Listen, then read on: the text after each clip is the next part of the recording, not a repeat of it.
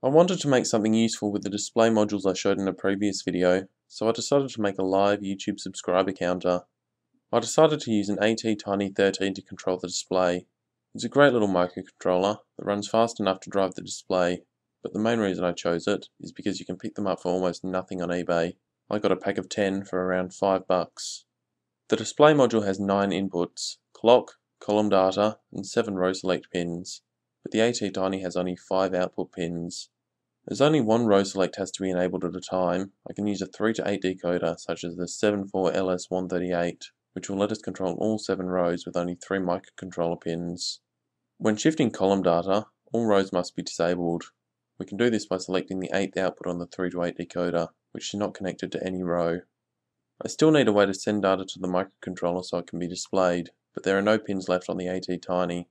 As I don't need to reset the microcontroller, I can disable the reset pin and use it for data input. The reset pin is also used to make the microcontroller enter programming mode, so I'll need a high voltage programmer if I plan on making any changes to the program. As I only have a single spare pin, I need to use a one-wire serial protocol. The ATtiny13 lacks a UART, which is useful for receiving serial data, so I had to make myself a software UART. I want the display to be compatible with RS-232 level input.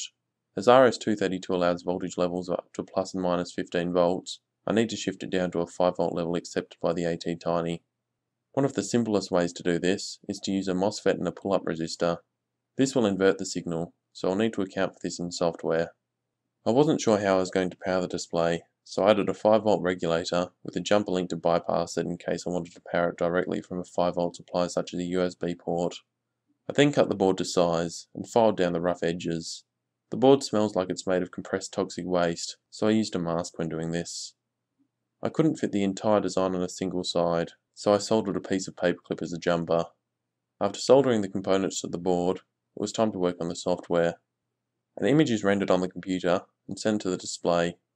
The protocol is extremely simple. The first byte indicates the start of a transmission and contains brightness data. The following 30 bytes contain pixel data.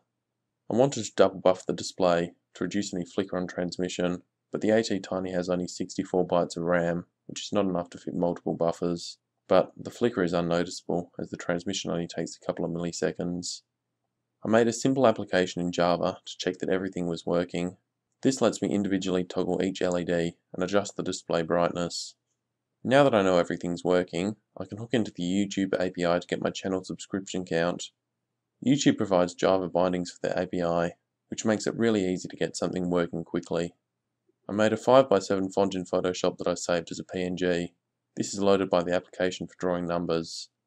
The application gets a subscriber count from YouTube every second. If the count is changed, an image is drawn to the byte array, which is then sent to be displayed. The display works as expected. When I subscribe or unsubscribe, the display updates within a few seconds. Thanks for watching. If you've enjoyed, please subscribe and give me a reason to add another digit to the display.